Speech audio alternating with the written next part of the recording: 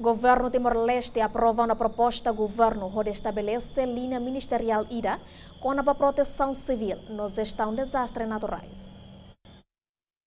Aprovação proposta do governo com o estabelecimento linha ministerial IDA, onde toma conta da proteção civil nos estão desastres naturais. Ne. Aprova ali a reunião extraordinária Conselho Ministro, lidera o primeiro-ministro Tauro Matanrua, que é Palácio do Governo dele, segunda-feira semana. Ne. Hafin reunião extraordinária Conselho Ministro, Ministro Reforma Legislativa no assunto parlamentar, Fidelis Leite Magalhães jornalista Cira Hatetan. Estabelecimento linha ministerial ne, ato reforço a serviço e a proteção civil nos estão desastres naturais, for atendimento la leis para a comunidade Cira, nebe afeta para desastres naturais. Assunto chave e rua dele.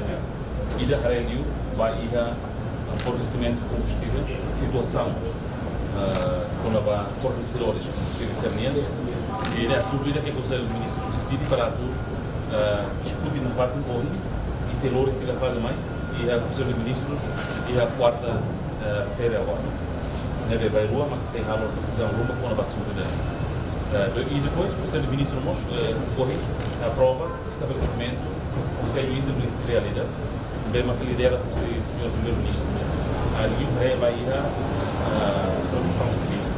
Reba desastres naturais ser se você lembra lei de desastres naturais lá que acontece e a Rio e a parte leste do país. E então tem que também tem que o governo tem que executivo tem que ir a mecanismo dia para responder por lá que era quando ia desastre para ver atua no uh, garante uh, integridade bem de humana e de cidadão ser. Da maneira que a religião do Conselho Interministerial.